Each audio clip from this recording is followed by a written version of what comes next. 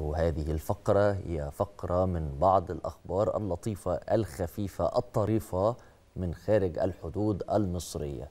وهذا الخبر الصراحة يعني آه، كان لازم الدكتور حامد جوهر اللي يقوله. مش أنا خالص. دكتور حامد جوهر عالم البحار آه، الناس اللي من جيلي والجيل اللي أكبر مني هيفتكروا عالم البحار كان على التلفزيون المصري. لأنه خبر بصراحة آه، غريب شويتين وليه علاقة بالكائنات البحرية. ف تصدق أو ما تصدقش هو خبر كده. يعني هو الخبر كده. بيقول إيه الخبر؟ إن في مجموعة من العلماء المتخصصين في عالم البحار والكائنات البحرية.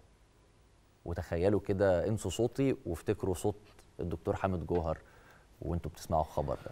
فمجموعة من العلماء المتخصصين في عالم البحار والكائنات البحرية مالهم بقى؟ قدروا يوصلوا لإن الأسماك بتتكلم تحت المية. بتتكلم تحت المية. هم بيقولوا كده. أنا ماليش دعوة. يعني هم اللي قالوا إن السمك بيتكلم تحت المية في نفس الموضوعات اللي بيتكلم عنها البشر. العلماء دول قالوا كمان إن الاتصالات الصوتية بين الأسماك اتطورت 33 مرة على الأقل على مدى ملايين السنين. ده الخبر. رأيي أنا الشخصي إن هو مش بيتكلموا هو في طريقة تخاطب.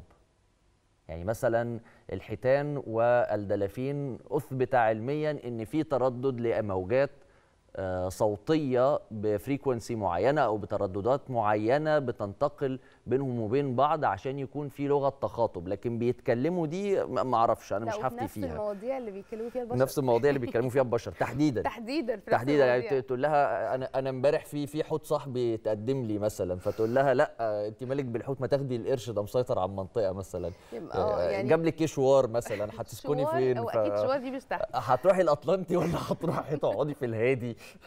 يعني حاجات شبه كده تقول لها لا البحر الأحمر حلو عند مصر الجو دفى ما بقاش فوق مش عارف تتكلم يعني بيتكلموا في نفس الموضوعات اللي بتتكلم فيها البشر آه أهم حاجة طب أنا عايزه أعرف هم عرفوا إزاي إن هي نفس الموضوعات اللي بيتكلموا فيها البشر ده, ده بقى علماء. بقى علماء الله صح يعني تفتكر بيتكلموا على الكورة طيب؟ بيتكلموا على كأس الأمم الأفريقية أكيد ومنتخب في مصر مجموعة منهم سمك. مصري بيكلم سمك كاميروني يقول لهم إحنا هنغلبكم الماتش. الجاي هنشوف- هنشوف قطعناكم. بوركينا فاسو 2-0 أوكي بقى نروح للخبر التاني خبر آه، لعشاق آه، السينما بقى وتحديدا عشاق فيلم سبايدر مان طبعا استمر فيلم الحركة والمغامرات Spider-Man No Way Home في تصدر إيرادات السينما في أمريكا الشمالية خلال الفترة الأخيرة. وحقق الفيلم إيرادات وصلت ل 11 مليون دولار خلال عطلة نهاية الأسبوع. الفيلم بطولة مين؟ فيلم آه، بطولة توم هولاند وأندرو جارفيلد وتوبي ماجواير ومن إخراج جون واتس.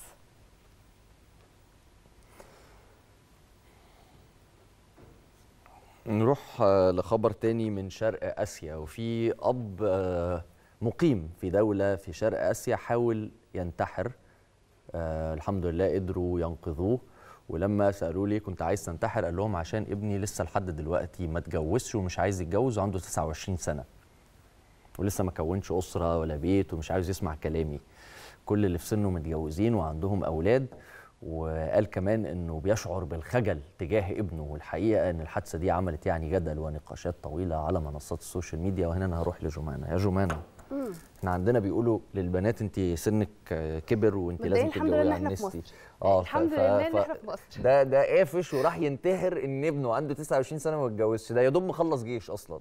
آه أنا مش عارف مش عارفة يعني مش عارفة بس لا ده محتاج تيجي هنا عندنا عادي. 29 سنة ده بدري قوي على فكرة. يعني 29 سنة يعني وابنه. لا وأقدم على الانتحار يعني مش آه، زعلان. لا لا هو يعني لا. مش واخد على خاطره. آه. يعني لا يعني مش بخصمه. ما لقاش بنت الحلال. يعني أنا لا واحد. أنا هروح انتحر عشان ابني ما اتجوزش. طب ما عنه ما اتجوز ما اتجوزش. مثلا. ما ما يتجوزش. مش عايزه يتجوز. سواء أنا هشيل همه وهو صغير وهو كبير كمان. هي دي الأبهات. أيوه صح. يعني دي كانت مجموعة من الأخبار المختلفة الأخبار الخفيفة كده من مختلف أنحاء العالم. خلينا نروح لفاصل سريع ونرجع نكمل مع حضراتكم. فقرات صباح الخير يا مصر مستمرة معاكم لغاية الساعة 10 صباحا.